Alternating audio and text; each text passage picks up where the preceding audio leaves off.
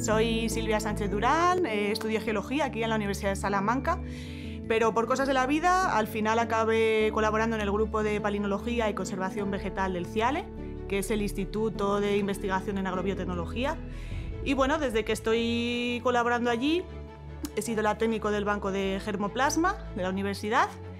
He hecho un par de másters, uno en educación ambiental en el medio natural y otro sobre energías renovables y eficiencia energética.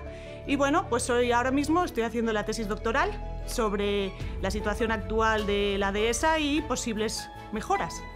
Desde el Banco de Germoplasma, donde trabajo, lo que hacemos es conservar ex situ, o sea, fuera del ecosistema, semillas de plantas que tengan algún interés, como por ejemplo plantas en peligro de extinción, eh, algunas eh, medicinales, aromáticas o incluso variedades hortícolas tradicionales que con el paso de los años se están perdiendo por culpa de los monocultivos.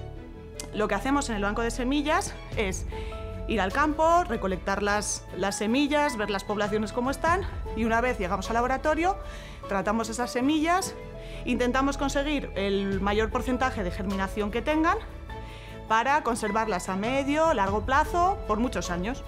Y entonces con las plantas que obtenemos podemos reintroducir dentro de su propio ecosistema. La biodiversidad hay que conservarla porque cada vez la estamos perdiendo, además a pasos agigantados.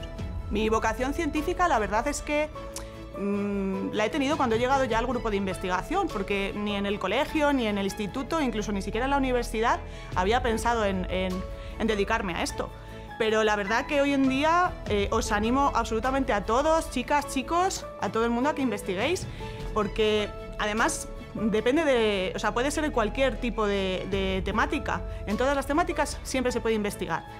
Y además a mí me parece algo apasionante porque al final, cuando vas aprendiendo de un tema, poco a poco te van surgiendo dudas y cada vez más dudas. Cuanto más sabes, más dudas vas a tener.